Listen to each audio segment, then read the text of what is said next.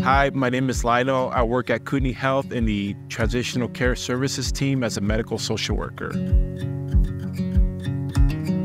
My role as a medical social worker is I work in a team of three, a nurse case manager and a transitional care associate. So we help with the discharge planning. As a social worker, if, if I need to provide extra resources to the patient, I, I do stuff like that and how to access those resources for in the future.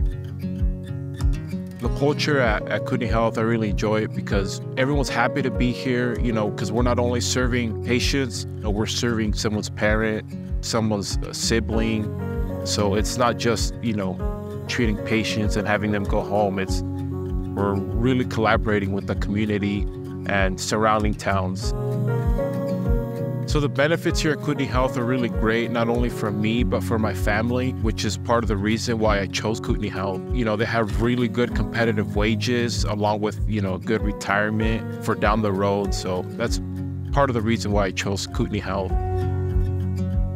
Thank you for watching. I'm Lionel. If you're interested in joining the One Connected team, please take a look at the information below.